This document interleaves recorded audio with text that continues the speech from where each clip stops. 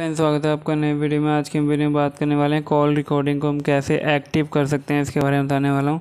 यानी कि ऑन कर सकते हैं इसके बारे में बताऊँगा। तो चलिए फ्रेंड्स, वीडियो को शुरू करते हैं।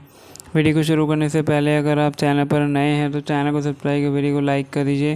फ्रेंड्स, जैसे कि आप देख सकते हैं, मेरे पास ये शाओमी का फ़ोन है और आपको सबसे पहले क्या करना है सेटिंग पर क्लिक करना है। तो क्लिक कर लेंगे फ्रेंड्स सेटिंग पर।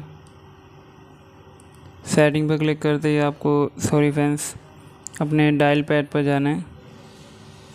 और जैसे ही आप अपने डायल पैड पर जाएँगे तो आपको इस तरीके का आइकन शो करेगा। आपको यहाँ पर क्या करना होगा? जैसे कि आप देख सकते हैं यहाँ पर किसी भी नंबर को आप डायल कर लेंगे तो मैं इस नंबर को डायल कर लेता हूँ। डायल करने के बाद आप देख सकते हैं एक्टिव करने के लिए क्या करना होगा।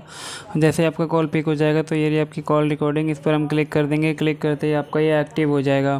तो इस तरीके से हम अपनी कॉल रिकॉर्डिंग को एक्टिव कर सकते हैं, और जैसे ही आपकी कॉल कट हो जाए तो यहाँ से जो माइक का ऑप्शन आता है, हम यहाँ से कॉल रिकॉर्डिंग को सुन भी सकते हैं।